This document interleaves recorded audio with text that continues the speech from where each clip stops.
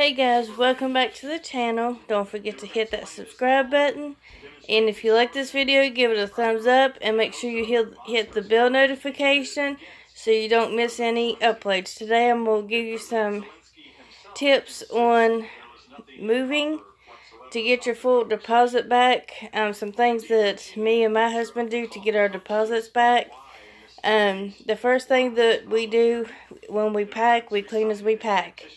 That's the first one. The second one we do is we clean the carpets ourselves. Um, after we get everything loaded up in like the U-Haul truck, we will go in whatever rooms have carpet in them. We do own a carpet cleaner. We usually upgrade them every, about every two or three years as the systems upgrade, and we do clean the carpets um, before we move out. Um, then we do sweeping and mopping. The last thing that we do is we go out the door.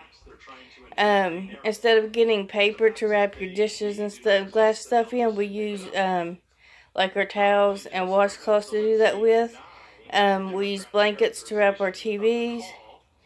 Um, we clean our walls and baseboards. And then our last thing we do, we do a walkthrough. That way it makes it look like they had um, a cleaning service come in and clean the either the house or apartment, whichever one that we're living in.